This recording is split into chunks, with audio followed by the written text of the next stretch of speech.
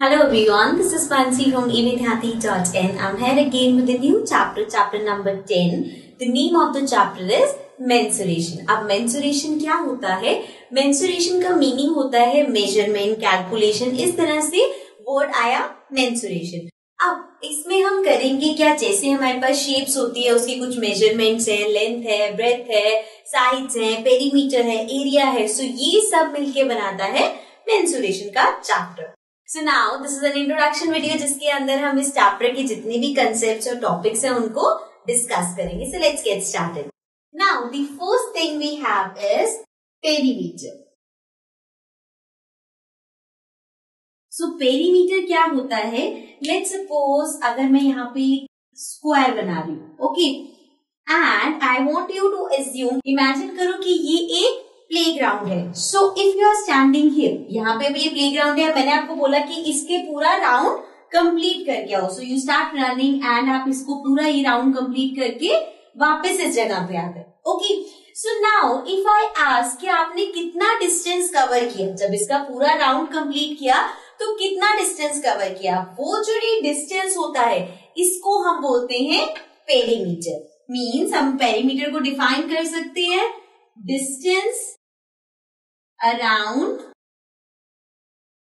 the boundary.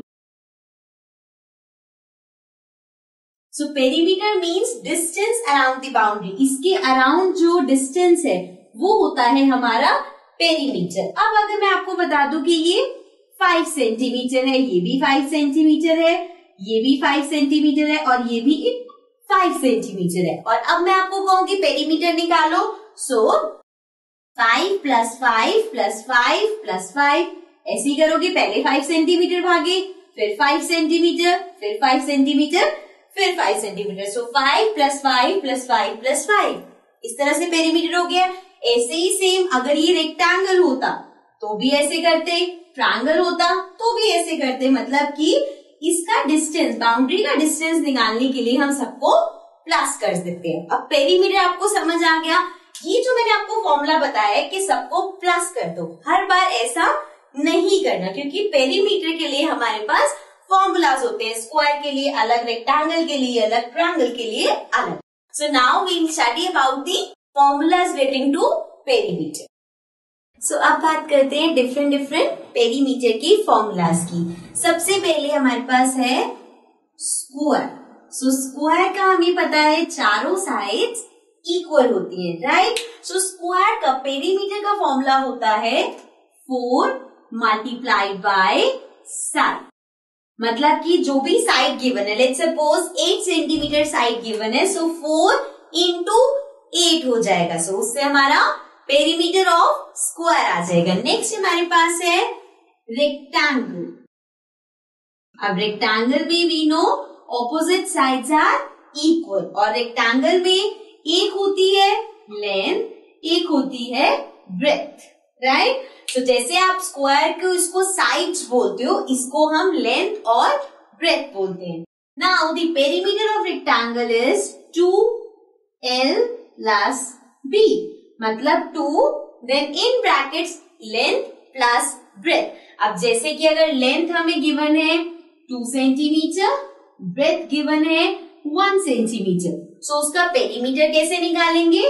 Two L plus B L is two plus one so two two plus one three अब ये क्या मतलब है? Multiply so two into three six मतलब कि six centimetre perimeter हो गया. ओके सो ये है पेरीमीटर ऑफ़ रेक्टेंगल अब नेक्स्ट बात करते हैं. पेरीमीटर ऑफ़ ट्राइंगल अब देखो ट्रायंगल अलग अलग टाइप्स के होते हैं। एक ट्रायंगल होता है इक्विलेटरल ट्रायंगल इक्विलेटरल ट्रायंगल में क्या होता है? इक्विलेटरल ट्रायंगल में हमारे पास सारी जो साइड्स होती हैं, वो इक्वल होती है। मतलब कि अगर ये आपके पास ट्रायंगल है तो ये सारी साइड्स इक्वल है। अगर एक सेवन सेंटीमीटर है तो तीनों सेवन सेंटीमीटर होंगी। बट इसके अलावा और भी ट्रायंगल्स होते हैं जैसे स्केलिन ट्रायंगल है जिसकी कोई भी साइड इक्वल नहीं होती या फिर आइसोसेलेस ट्रायंगल है जिसकी दो साइड इक्वल होती है। सो so, अभी जिसकी हम बात करें वो है इक्विलेटरल ट्रायंगल मतलब कि जिसकी तीनों साइड्स इक्वल है। सो इक्विलेटरल ट्रायंगल का पेरीमीटर होता है थ्री इंटू साइड अब यहाँ पे एक चीज़ कॉमन देखो। स्क्वायर की चार साइड होती है, चारों साइड्स इक्वल है तो फोर इंटू साइड कर दिया। ट्रायंगल की तीन साइड्स है, तीनों साइड्स इक्वल है अगर तो थ्री इंटू साइड कर दिया। ओके तो आपको बस यहाँ तीन फॉर्मूले याद करने हैं। स्क्वायर का फोर इंटू साइड रेक्टेंगल का two multiply L plus P and then perimeter of equilateral triangle ये याद रखना इक्विलेटरल ट्रायंगल का है। So three into side okay so this was about perimeter अब देखते हैं कि पेरीमीटर के बेस क्वेश्चंस कैसे आएँगे। So now we are talking about what are the questions जो पेरीमीटर के बेस्ड आते हैं। जैसे कि एक टाइप का क्वेश्चन आ सकता है कि आपको कोई भी ऐसे रैंडम फिगर गिवन है एंड इस फिगर में आपको अलग अलग इसकी लेंथ गिवन है। जैसे ये फाइव है, ये फोर सेंटीमीटर है, ये भी फोर सेंटीमीटर है this is three centimetre this is three this is five this is two this is two this is one this is four इस तरह से कोई भी रैंडम शेप गिवन है और सारी लाइन सेगमेंट्स की आपको लेंथ गिवन है। अब ये जो फिगर है, इस फिगर का कुछ नाम तो नहीं, ना स्क्वायर है, ना रेक्टेंगल है, ना ट्रायंगल है, ना ही और कोई फिगर है। तो इस फिगर में आपको पेरीमीटर फाइंड करना है सो जितनी भी साइड्स गिवन है, क्योंकि पेरीमीटर का क्या मतलब है? बाउंड्री का सम टोटल जो बाउंड्री है, वो पेरीमीटर होती है। तो यहाँ जितने भी है five plus four plus four plus three ऐसे करते करते जितनी भी साइड्स गिवन है उन सबको ऐड करके पेरीमीटर फाइंड कर सकते हैं। ओके सो एक तरीका ये हो गया। एक आपके पास होगा कि आपको लेट सपोज़ रेक्टेंगल की बात करते हैं तो लेंथ गिवन है, जैसे हमने अभी किया था फाइव सेंटीमीटर ब्रेथ गिवन है सिक्स सेंटीमीटर अब आपको फाइंड करना है पेरीमीटर तो इस केस में क्या करोगे? फॉर्मूला लगा दोगे two L plus B right so इस तरह कर सकते हैं। एक तरीका और है दैट इज़ कि आपको पेरीमीटर गिवन होगा। लेट सपोज़ आपको गिवन है perimeter of square is twenty अब आपको बता दिया कि पेरीमीटर है स्क्वायर का ट्वेंटी सेंटीमीटर आपको फाइंड करनी है साइड मतलब उल्टा कर दिया। वैसे साइड गिवन होती है पेरीमीटर फाइंड करना है। यहाँ पेरीमीटर ही गिवन है साइड फाइंड करनी है। तो वो कैसे करेंगे? पेरीमीटर ऑफ़ स्क्वायर होता है four into side now four into side हमें गिवन है कि ट्वेंटी है राइट right? यही गिवन है पेरीमीटर सो साइड इक्वल हो जाएगी पेरीमीटर अपॉन फोर मतलब कि ये फोर जो यहाँ मल्टीप्लाई हो रहा है, इधर आके डिवाइड हो जाएगा। So side will be twenty upon four four के टेबल में ट्वेंटी कब आता है? फाइव पे। तो मतलब साइड आ गई फाइव सेंटीमीटर ओके सो इस टाइप के क्वेश्चन आते हैं पेरीमीटर के। अब आते हैं अपने नेक्स्ट टॉपिक पे। Now our next topic is area अब एरिया क्या होता है? फिर से वही एग्ज़ाम्पल लेते हैं। Let suppose this is a playground तो पेरीमीटर में हमने देखा था जो इसकी बाउंड्री का डिस्टेंस होता है, वो होता है पेरीमीटर अब अगर इस प्लेग्राउंड में, पूरे प्लेग्राउंड में मुझे ग्रास लगानी है गार्डन बनाना है इसको सो मतलब कि यहाँ पूरा ग्रास लगेगा। अब अगर मैं आपसे पूछती हूँ कि ग्रास कितनी जगह में लगना है सो ये जगह फाइंड करने का मतलब है एरिया फाइंड करना। जैसे कि हम लोग बहुत बार सुनते हैं जब फ्लैट्स की बात होती है या बंगलोज की बात होती है तो हम कहते हैं कितनी जगह में बना हुआ है? सो so, उसमें हम बोलते हैं इतनी जगह में बना हुआ है या इतनी जगह में बना हुआ है। मतलब कि कोई चीज़ उतनी जगह ऑक्यूपाई कर रही है। मतलब कि अगर इसको हम एक स्क्वायर की तरह लेते तो ये कितना जगह ऑक्यूपाई कर रहा है? दैट इज़ एरिया ठीक है? इसके लिए एक छोटा सा एग्ज़ाम्पल लेते हैं। लेट सपोज़ मेरे पास ये रजिस्टर है राइट अब इस रजिस्टर की अगर मैं बाउंड्रीज की बात करूँ मीन्स ये बाउंड्रीज है सो ये है मेरा पेरीमीटर बट इसी रजिस्टर को अगर मैं टेबल पे प्लेस करती हूँ तो ये टेबल पे कितनी जगह ले रहा है? That is area of this so perimeter और एरिया समझ में आ गया? अब एरिया तो पता चल गया क्या होता है? जैसे आपके पास पेरीमीटर के फॉर्मूलाज होते हैं, वैसे ही एरियाज़ के फॉर्मूला होते हैं. जैसे कि सबसे पहले जो हम डिस्कस करेंगे that is area of square अब अगर किसी स्क्वायर का आपको एरिया निकालना है so that is side multiplied by side side into side मतलब कि अगर स्क्वायर की साइड फाइव सेंटीमीटर है so five into five is the area of square similarly next है area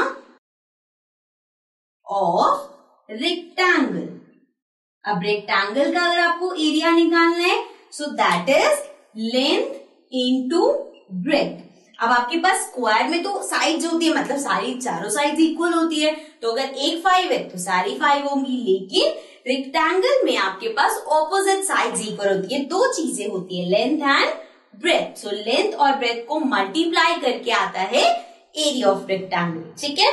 So area of square is side into side area of rectangle is length into breadth okay so this was about area अब हम देखेंगे कि area के questions कैसे आएँगे. So let's see that so now let's talk about the questions based on area so area के आपके पास एक टाइप का क्वेश्चन आ सकता है कि आपको स्क्वायर पेपर गिवन है सो स्क्वायर पेपर होता है जिसमें ऐसे छोटे छोटे से स्क्वायर्स बने होते हैं, ठीक है?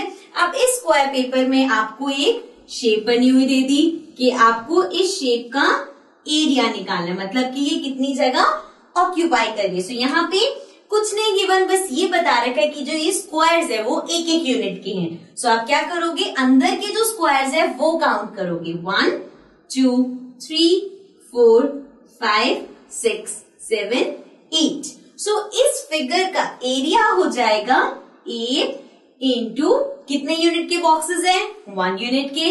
So eight into one is eight okay so इस तरह से एट आ जाएगा इसका area means eight square unit will be the area of this now next type का क्वेश्चन हो सकता है. सिंपल सा कि आपको लेंथ गिवन है ब्रेथ गिवन है. लेट सपोज़ कुछ भी ले लेते हैं. फाइव सिक्स अब आपको फाइंड करना है एरिया तो कैसे फाइंड करोगे? लेंथ इंटू ब्रेथ करके मतलब five into six five into six is thirty right so इस तरह का आ सकता है। एक जैसे पेरीमीटर का आता है, वैसे ही एरिया का भी आ सकता है कि आपको एरिया लेट सपोज़ गिवन है थ्री हंड्रेड ठीक है? देन पिछली बार हमने स्क्वायर का लिया था तो अब रेक्टेंगल का ले लेते हैं। लेंथ गिवन है 50 ब्रेथ आपको फाइंड करनी है। अब यहाँ पे क्या है? एरिया गिवन है लेंथ गिवन है ब्रेथ निकालो। So area equals to L into B होता है right area of rectangle L into B area given है 300 लेंथ गिवन है 50 ब्रेथ हमें फाइंड करनी है। सो so अगेन जैसे उसमें डिवीज़न हुई थी, यहाँ भी ऐसी होगा। बी और 50 मल्टीप्लाई करिए। बी निकालना है 50 को, इधर भेज दो तो ये हो जाएगा 300 अपॉन 50 ज़ीरो से ज़ीरो कैंसिल फाइव के टेबल में थर्टी आता है सिक्स पे। सो so, बी आ गया हमारा सिक्स सेंटीमीटर मीटर जो भी होगा। ठीक है? सो अगर एरिया 300 है लेंथ 50 है तो ब्रेथ इज़ ओनली सिक्स ठीक है? सो इस तरह का क्वेश्चन आ सकता है। अब हमने डिस्कस कर लिया एक लास्ट चीज़ जो आपको ध्यान रखनी है दैट इज़ जब हम पेरीमीटर और एरिया को लिखते हैं। लेट सपोज़ किसी क्वेश्चन में आपने पेरीमीटर फाइंड किया। और जो आपने पेरीमीटर निकाला है लेट सपोज़ वो स्क्वायर का है तो आपको साइड सेंटीमीटर में गिवन थी। सो so, जो आंसर होगा वो भी सेंटीमीटर में होगा ठीक है ना? साइड मीटर में गिवन है आंसर मीटर में होगा। ऐसे ही जब एरिया की बात करते हैं अब अगर आपके पास जो साइड या लेंथ ब्रेथ गिवन थे वो सेंटीमीटर में थे। तो जब आप एरिया लिखोगे तो सेंटीमीटर तो रहेगा लेकिन साथ में स्क्वायर लग जाएगा। तो एरिया को हम रिप्रेजेंट करते हैं सेंटीमीटर स्क्वायर या मीटर में है तो मीटर स्क्वायर मतलब कि एरिया में हमेशा साथ में स्क्वायर लग जाता है। Okay so this was about chapter number ten this was the last topic with this हमने सारे डिस्कस कर लिए किस टाइप के क्वेश्चंस आते हैं कौन कौन से फॉर्मुलेज होते हैं एंड पेरीमीटर एरिया होता क्या है। Now you can go to the exercise and वहाँ पे आप देख सकते हो कि जो क्वेश्चंस होंगे, उसके आपको कंसेप्ट already clear होंगे okay? So that's it for this chapter. I'll be coming back again with the new chapter. Till then take care and bye bye